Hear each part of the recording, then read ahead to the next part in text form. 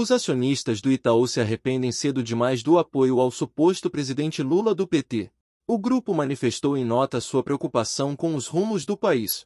A situação é grave na medida em que o governo demonstra total despreocupação com o equilíbrio fiscal e a transparência da economia. O caso foi repercutido na Rádio Jovem Pan.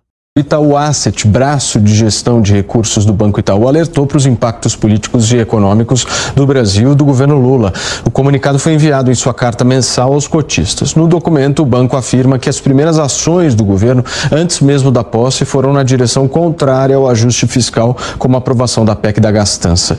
O Itaú criticou ainda a falta de clareza sobre a âncora fiscal da nova gestão, a ausência de informações sobre a reforma tributária, tributária e alertou para a possível elevação de impostos impostos ainda neste ano. Serrão, como é que você avalia esse alerta? O Itaú? O Itaú fez o L, não foi? Não, não foi o Itaú. Quem fez o L foram os acionistas principais do Itaú. Estou hum. torcendo aqui pela previsão do Piperno. O governo anterior será muito pior. Esse agora vai ser uma coisa maravilhosa. Não disse que será uma coisa maravilhosa, disse que vai ser melhor que o anterior. O que também é, não é uma Não coisa... foge da raia, não, hein, Piperno? Não, não, foge da raia, não, porque o Outros veículos também comentaram a situação. Os jornalistas lembram que os acionistas apoiaram a campanha de Lula no pleito 2022. O Itaú ontem jogou a toalha, você viu? Ah, não, fala aí, tá. É, o Itaú ontem jogou a toalha, disse que infelizmente apoiou esse governo, mas que agora faz já está revendo. Faz, faz, faz, o L, a musiquinha. Faz o L, cadê o L? Né? A gente teve 14.500 empregos perdidos semana passada.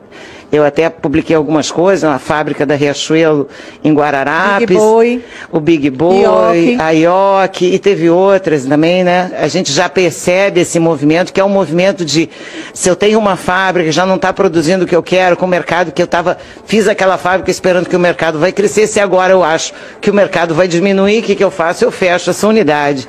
E é mais ou menos isso que a gente vai começar a observar cada vez mais aí uh, no Brasil por causa da expectativa. A economia vive de expectativa. Os números ainda não estão ruins, mas a expectativa está péssima.